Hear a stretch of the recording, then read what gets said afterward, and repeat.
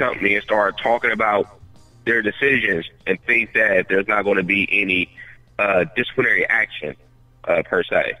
So in that aspect, I think she kind of put herself in that position unknowingly. I don't think she meant to say it in that manner, but I think she was trying to let people know, like, hey, if you have an issue with these these teams, with uh, people trying to make these players stand, this is how you this is how you deal with the issue. Don't don't patronize them. Don't sponsor.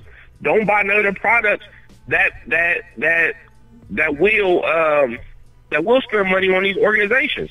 Don't do it. And then when you start doing that and you hurt an organization's pockets, then that's when they listen. And she's right. Because that's what you have to do. I mean, you look at any boycott, any protest that has happened, you know, not just just protesting didn't help. You have to start affecting their bottom line. You got to start affecting their their money. You got to hit their wallets. Once you start hitting people's wallets and they start losing money, then that's when they start listening. Because now you're messing up their livelihood. And it shows them like, hey, your livelihood is just as important as my livelihood too. So right. um, I, I commend her for her comments. But I knew that I knew that I knew the suspension was coming after she made. Them. I was like, oh, she hit hard right there. Yeah, like she came yeah. with it. Now, but the suspension was coming right after.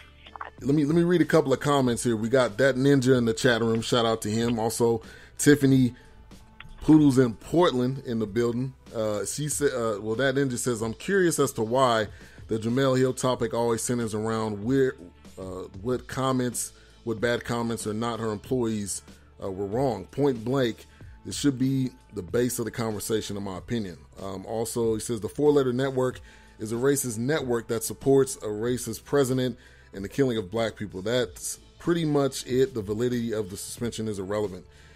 And I think in this in this whole situation, I think like you said, Jemele Hill is is a casualty. And and similar to Trump, I would say this: similar to Trump, it seems like ESPN uh, is, is, picks on the like a battle that that they think they can win. Um, you you don't see, and for and Berman, I'm kind of gonna go back in, in time a little bit, but Berman, if you remember him, there was audio from him basically cussing out colleagues. Uh, people didn't like. Um, can't remember his first name right now, but people didn't like Berman at ESPN but nothing actually happened to him. No, he didn't have a Twitter account, but you look at they and, and they didn't want to go after him because he was at ESPN for so long. So I think there's a lot of of things in this, um, but I, to me, again, I'm gonna say this: the, the tweets were not. I, I, think she just she put a suggestion. She basically put like a suggestion box in the chat in on Twitter, and people did all the work for her. She didn't have to put the sponsors in there. She didn't have to put all the other information. Um, mm-hmm. So I, I, just I think uh, she's gonna come back and she's not gonna she's not gonna sit back. Jemele Hill, I appreciate her uh, greatly, but they're gonna continue oh. to do what they're doing. And then also another part of this, um, Michael Smith actually. I think he stepped out that first show that she was she was off. Uh, I don't know how that actually went. I'm not able to catch Sports Center six, um, but I'm curious to see how how this is going to go further, but I don't see Jemele Hill backing down at all. Yeah, and, and she shouldn't. I don't think she should. Um, I, like I definitely appreciate her because she's using her platform as we all, like most African Americans, ask that you know people who are in position of power to use their platform to stand up for those who don't have a voice. And I think Jemele Hill has done that. I think there's NFL players who've done it. There's NBA players who've done it. There's a lot of people who are more consciously aware today than there was uh, 40 or 50 years ago when you were trying to get into the sports and it was dominated by majority white people and you were scared to use platform. I think today we have a lot more people who are willing to use their platform, and I definitely appreciate uh, that in, in those players speaking on these things. Um, because it does start the conversation. It does uh, it does influence our youth. It does uh, inform our youth, which I think is extremely important for them to be informed. Um, so I, I definitely appreciate that, and I don't think that again, I don't think that her comments were meant to be inflammatory. I don't think that her comments. Uh, I, th- I think her comments were really meant to say, "Hey, like here's something that you can do." She was giving ideas and suggestions to people. I think people took it and ran with it. But again, your sponsor, your your your your employer, your employer is not going to going to like suggestions given that might affect their bottom line, right? right? And, and and and you know, it's like you know, it's like you saying, hey, if you don't like ESPN, go watch Fox. You know what I'm saying? If she would have said that, they'd be like, no, no, no, no, no, no. You don't like ESPN, and we need to do something else to get you to like ESPN, right? like, you know, it was similar to that to that aspect, and so, um, and so, you know, like I said, I, I saw the punishment coming. Um, I, I definitely think I hope she comes back uh, with a vengeance um, and, and, and really handles her business. Um, and and I appreciate like Michael Smith and all those other uh, anchors who have been there constantly supporting her and being like, "Yo, y'all not gonna just dog her out like this. We still here with her. We gonna help her through this thing." Uh, period. So you got you got you got to appreciate that. Um, and you know, and like I said, I mean, I think at this point it's up to the public to really start taking a stand and start helping these these individuals who do have platforms who are speaking out for us. We got to do our part now so to make sure that we can continue to push this fight on. Exactly, exactly. All right, man. Well, I appreciate you always for coming on. Love having Tyjun Mack on the show. Go find him on Facebook, T Y J U N Mack. He's always in the uh, on Facebook and chatting in the Real NBA Talk group. So appreciate you for coming on, talking about some topics from this week. Oh, no problem, man. Uh, thank you for having me on. Looking forward to uh, a good college game tonight. Uh, today, I want to see this Miami game, uh, and then get ready for the basketball season. It starts in three days, man. Three yes. days. Hoop is back. Yes, yes. We'll be we'll be definitely the next show. It'll be a a hoop show uh, from top to bottom. So we'll be talking about some stuff to talk about on the next one. Have a good one, man. All right, take care. All right. Also, my man Tyjun Mack. Love to get his thoughts on everything going down from the week. NBA is back. Um, Sluggo says, always enjoy Mack. He should be a permanent co host, sir. You're right. You're right, man. He lives in California. It's been, it's been, if he was here or if I was there, we would definitely be doing this every week. We'll have to figure something out. But yeah, man, we go back since the fifth grade. So uh, that's that's my brother. Uh, even though I don't have any brothers,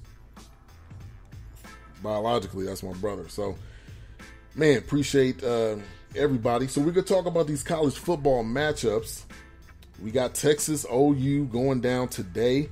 Uh, it's gonna be crazy at the Cotton Bowl. Uh, that's gonna be uh, one of the games. Georgia Tech, Miami, like uh, Bella mentioned in the chat room. Also, we got USC versus Utah, another game and um, Mocha Bella, man, you, you came with, with a comment that, that caught my eye.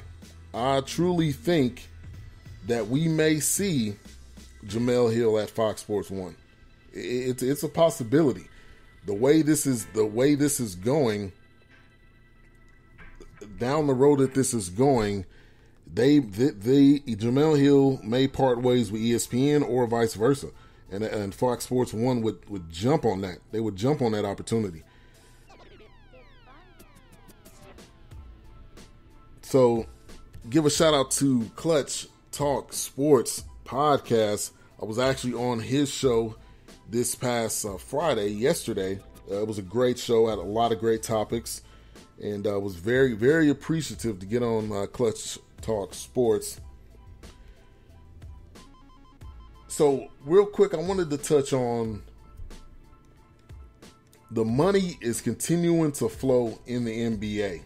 You got Joel Embiid getting broken off, also Wiggins. Um, so I'll get back to that in a minute. We got our next guest up on the line, my man Larry B with IE Sports Radio. What's going on, Larry? Hey, what's going on, Ben? Thank you for having me on the show. Oh, definitely, man. Always great to get your knowledge in college football and sports, period. But we got a couple of big ones for today. The Red River rivalry, Texas versus OU. Both of these teams show up. It doesn't matter if they're 0 5 or whatever may be, they come into this game ready to play. Um, also, let me plug IE Sports Radio is on Spreaker, so go check that out. A lot of great shows, a lot of great content. Uh, but Texas versus OU, um, kind of what's your your thoughts on this game with OU being ranked, Texas not ranked, having a lot of issues. Uh, you know, last year, also this year. Um, but what's your thoughts breaking down this game?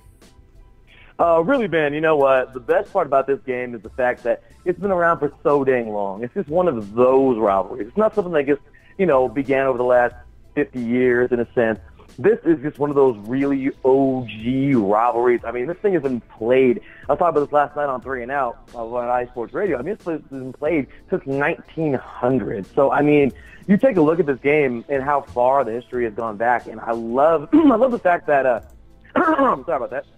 I love the fact that I have this. I mean, that you have these long periods of winning from both sides, and then the last couple of years, Ben, the best part about this is it's gone back and forth since 2013. Texas winning 36 to 20 in 2013. In 2014, Oklahoma wins it 31 to 26.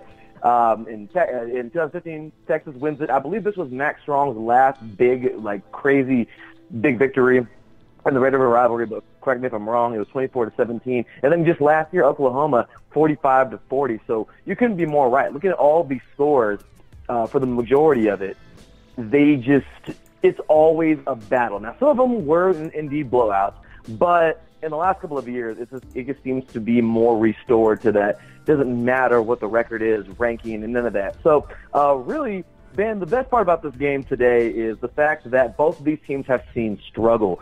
Texas has had this man, you know, starting off the season when they would uh, just be you know, just demoralized by this Maryland Terps team. We talked about that uh, a couple weeks ago here on the on the BS3 Sports Show, and you know, Texas couldn't they couldn't hold in that game whatsoever. and uh, what happens? Oh, they lose.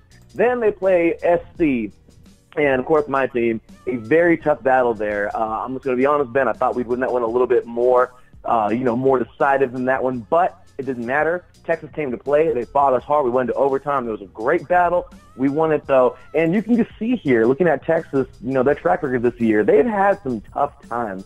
Some people were saying, oh, well, you know, why were they even ranked in the first place? Because they're a good team. They produced good players from last year. We've seen Foreman, that's now a part of the Texans. I mean, this team is a good team since they don't have you know, all the pieces just yet. And for Oklahoma, this team got knocked out last year early by the uh, by the Ohio State Buckeyes, and then this year they went up there to the shoe and returned the favor. But unfortunately for them, well, they would lose quite the nasty one.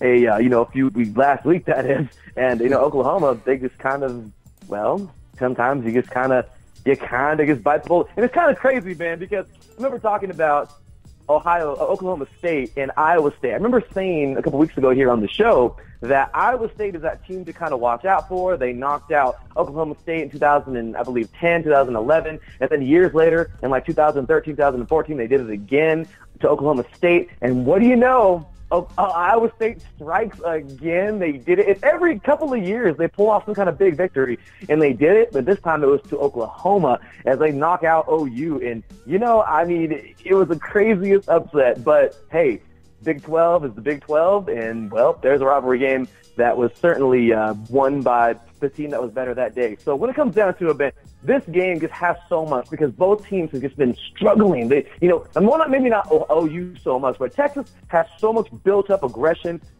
OU, if you don't think they have built up aggression after that Iowa State loss, then I don't know what to think. they but, definitely uh, do.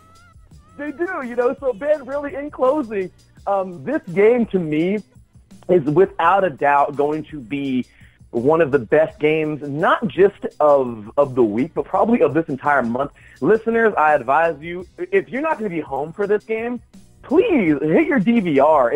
and if you have somebody at home that you're not home right now, call them and please tell them to record this game for you because this is going to be a great game. I love this game.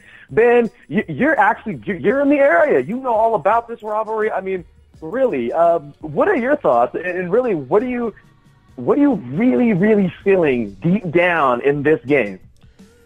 I'm expecting Texas to actually get the win. I, I think they don't like in this rivalry. No one likes to lose. Period. Um, Texas is three and two.